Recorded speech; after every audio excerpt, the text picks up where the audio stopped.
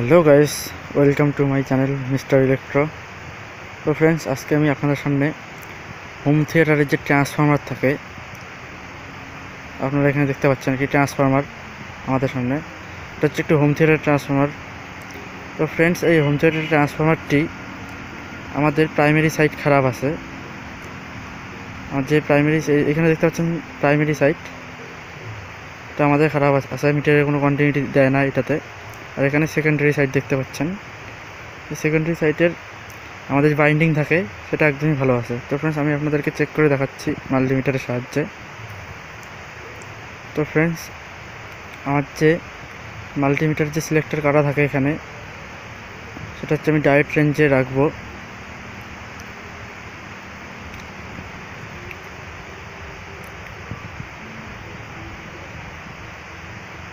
তো ফ্রেন্ডস মাল্টিমিটারের এখানে আমি ডায়েট রেঞ্জে রাখব এখানে।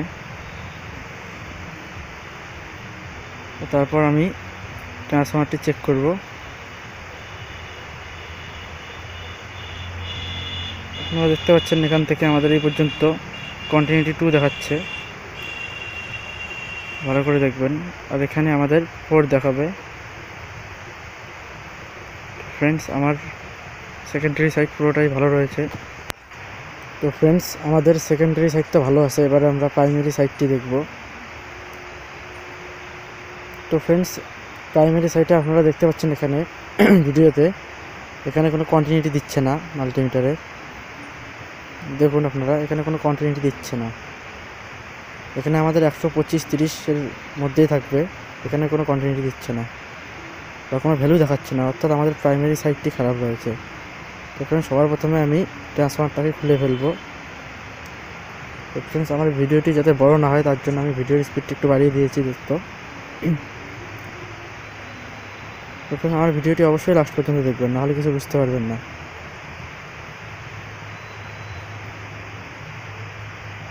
তো ফ্রেন্ডস আমাদের এইভাবেই ট্রান্সফর্মার পাতি খুলতে লাগবে। আমাদের যেই ট্রান্সফর্মারটি আছে, এটা হচ্ছে ই টাইপ ট্রান্সফর্মার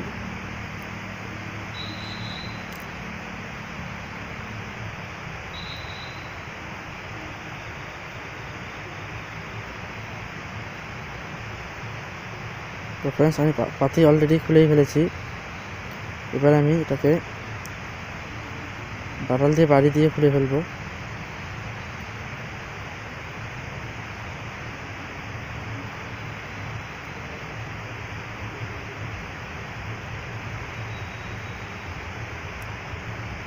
তো ফ্রেন্ডস সবার প্রথমে আমরা দেখতে পাচ্ছেন আমি সমস্ত পাতি খুলে ফেলেছি এখান থেকে। এটাকে আমাদের কোর বলি আর কি। তো তারপরে আমাদের যে সেকেন্ডারি সাইডের যে বাইন্ডিং করা আছে এখানে, দেখতে পাচ্ছেন, বারো জিরো বারো ভোল্টের জন্য যে বাইন্ডিং করা আছে এখানে, এই বাইন্ডিংটা আমরা এখান থেকে খুলে ফেলব। এটা খুলে কোথাও রেখে দেবো, তারপর আবার এটাকে আমরা এখানে, আগে ঠিক যেভাবে লাগানো ছিল আমরা ঠিক সেভাবেই লাগাবো।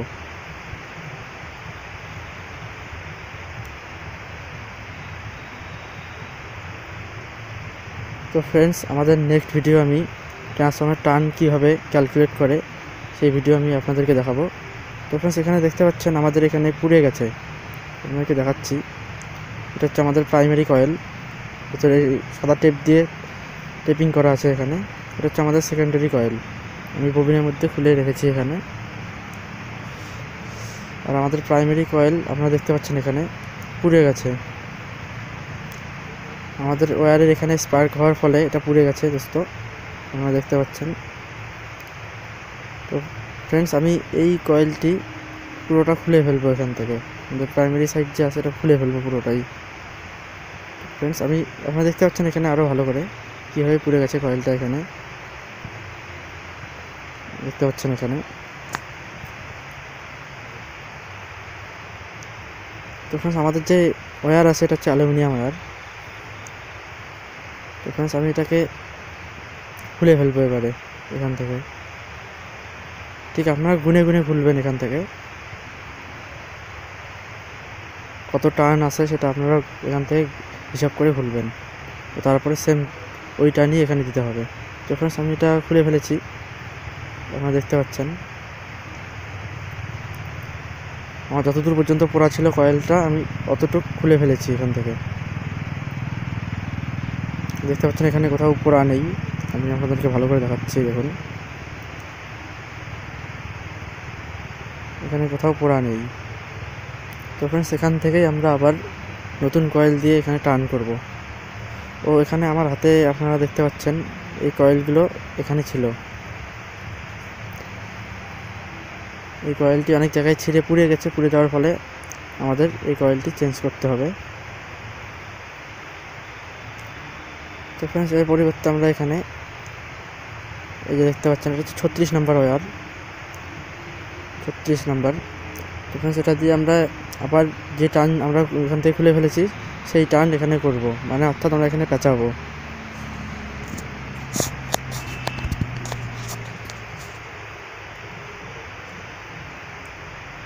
তো ফ্রেন্ডস আপনারা যখন এটাকে জোড়া দেবেন, খুব ভালোভাবে এটাকে জোড়া দেওয়ার পর স্লিপিং পাইপ এখানে লাগিয়ে ফেলবেন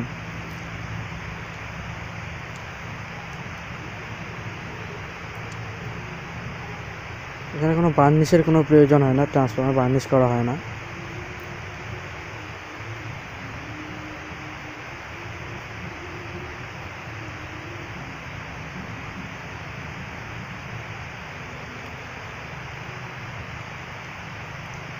তো আমরা এটাকে এখানে জোড়া দিয়ে দিয়েছি। তারপর এখানে যে আমাদের টার্নটি ছিল মানে যত প্যাচ ছিল এখানে, আমরা ঠিক তত প্যাচই এখানে দিব। আমাদের ববিনে ট্রান্সফর্মারের ববিনে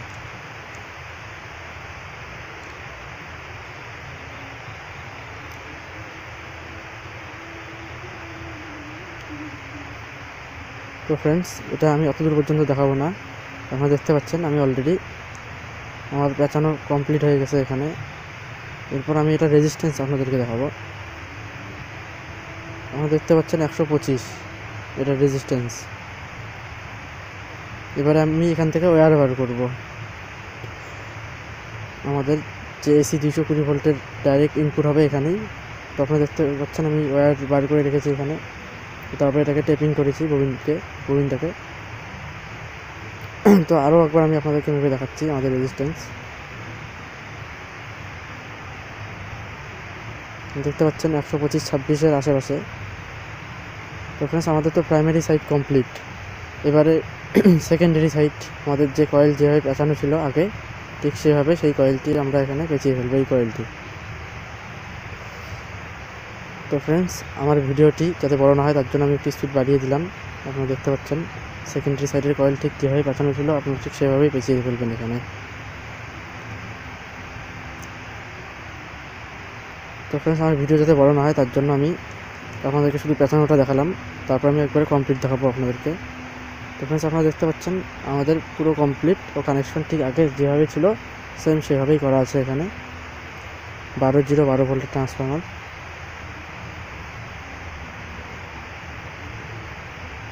ফ্রেন্ডস আপনারা দেখতে পাচ্ছেন, আমাদের কমপ্লিট তো তারপরে আমরা এখানে পাতি আগে ঠিক যেরকমভাবে লাগানো ছিল, ঠিক সেভাবে আমরা এখানে লাগিয়ে ফেলব।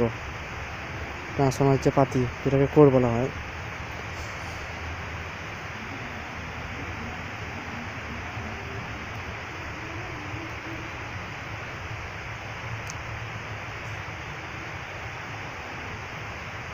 তো ফ্রেন্ডস আমি আবারও বলছি, যারা যারা আমাদের চ্যানেলে নতুন আর কি, তারা তারা অবশ্যই আমার চ্যানেলটিকে সাবস্ক্রাইব করে বেল আইকনটি প্রেস করে দেবেন, ও আমার ভিডিও শেয়ার করবেন।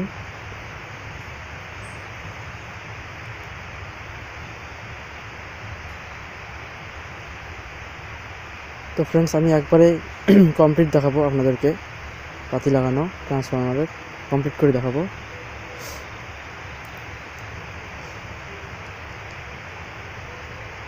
আমার ভিডিও বড় না হওয়ার জন্য ফ্রেন্ডস আমি স্পিডটি বাড়িয়ে দিয়েছি।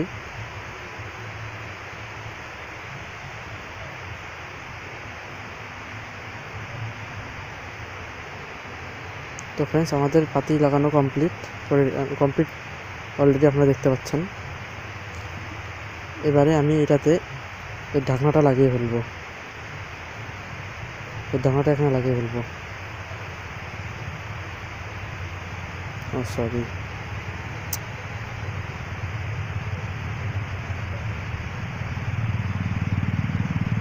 তো ফ্রেন্ডস আমাদের ট্রান্সফর্মার একদম কমপ্লিট এবারে আমি এটাতে পাওয়ার দেব এসি দুশো কুড়ি ভোল্ট দেবো। তো তারপর প্রাইমারি সাইডে এসি দুশো কুড়ি ভোল্ট আর সেকেন্ডারি সাইডে আমরা এসি বারো ভোল্ট বারো জিরো বারো আমরা মাপবো। তো ফ্রেন্ডস সবার আগে আমি আরেকবার কন্টিনিউটি চেক করব এখানে। আমাদের কন্টিনিউটি আপনারা দেখতে পাচ্ছেন, একশো উনপঞ্চাশ দেখাচ্ছে। ওইখানেও কন্টিনিউটি চেক করে ফেলব।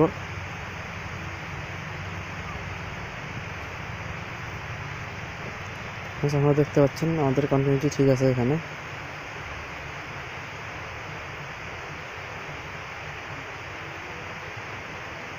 তো ফ্রেন্ডস এখানে এক দুই ভোল্টেজের কম বেশি হতে পারে আমাদের। কারণ আমি যে প্রাইমারি সাইডের যে কয়েলটি এটা অ্যালুমিনিয়াম ছিল। আমি সেখানে তামার কয়েল ইউজ করেছি।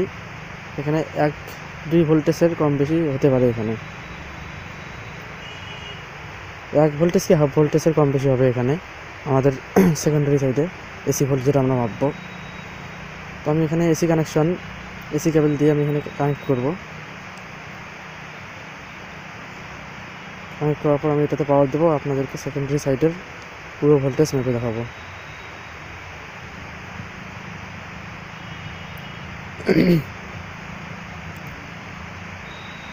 তো ফ্রেন্ডস আমি মাল্টিমিটারের সিলেক্টর কাটা এসি সাড়ে সাতশোতে রেখেছি, আপনারা দেখতে পাচ্ছেন।